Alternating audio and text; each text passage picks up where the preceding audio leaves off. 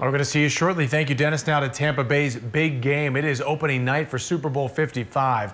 Virtual events are kicking off the big week, and everywhere you look around town, there are signs of Super Bowl excitement. Yeah, so much excitement and energy. Now, behind the scenes, the preparations continue for the showdown between the Bucs and the Chiefs. ABC Action News reporter Haley Bull shows us the ways everyone, from the host committee to fans, are gearing up for the game. The Buccaneers flags, the cat named Gronkowski, the Tampa enthusiasm. We're huge, huge Bucs fans. I mean, fanatics, yes. you know, practically. All signs of this home Super Bowl excitement.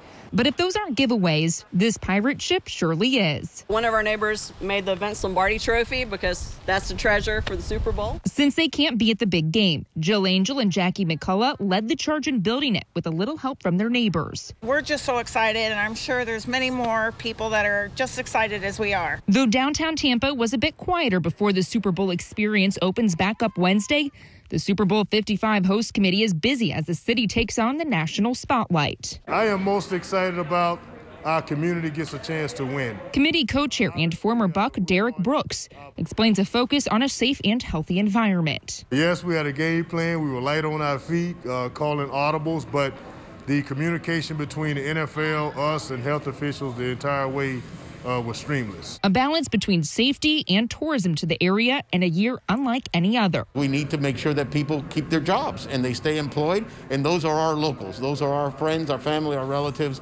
So we have to make sure we have that great balance, and I think you can do it. The city gearing up on land and on the water. We're still going to enforce the laws and regulations. The Coast Guard and Hillsborough County Sheriff's Office creating a Super Bowl Marine safety zone near downtown. But with just days left until the game, we're so pumped for the game. These fans already firing the cannon.